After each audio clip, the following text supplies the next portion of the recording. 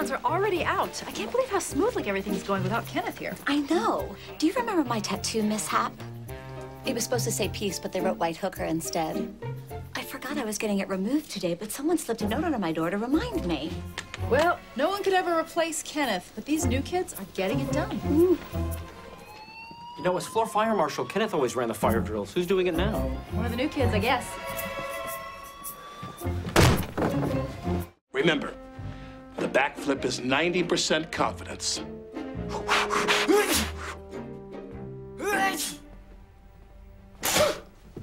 Kenneth, what are you doing here? I'm sorry, sir. I was just sweeping your terrace, and then you came in, and I was trapped. Just like the time I was cleaning my closet, and my mom and her friend Ron came in to take one of their grunting naps on my bed. Hang on. Are you sneaking in here and working? I know how much you all need me. Stop right there. Guess what? Other people can figure out how to sort the mail and answer the phones. We don't need you. So move on with your life, starting now.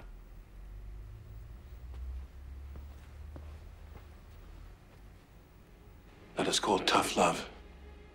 Kenneth is now on a journey that will either return him here where he belongs or end in his death.